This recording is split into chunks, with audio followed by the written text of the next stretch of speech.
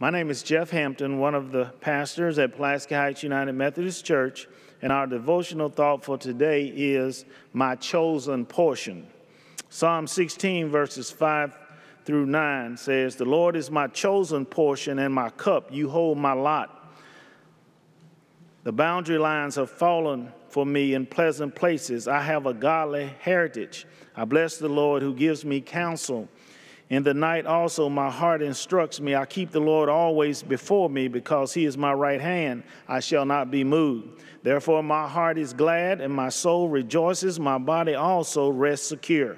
You show me the path of life. In your presence there is fullness of joy. In your right hand are pleasures forevermore. We are all called to be followers of Christ. Being a follower of Christ brings me wonder and excitement comfort, and peace, but it also challenges and encourages me to see the world through the eyes of our Lord Jesus.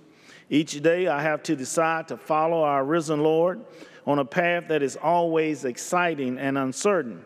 But like the psalmist, the Lord is my chosen portion and my cup. There my heart is glad and my soul rejoices. My body always rests secure. This is a great psalm to read in the morning with a cup of fresh coffee and be reminded of the joy and comfort that comes from following Christ. Let us pray. Gracious God, thank you for this day and for your presence. In your right hand are pleasures forevermore. Amen.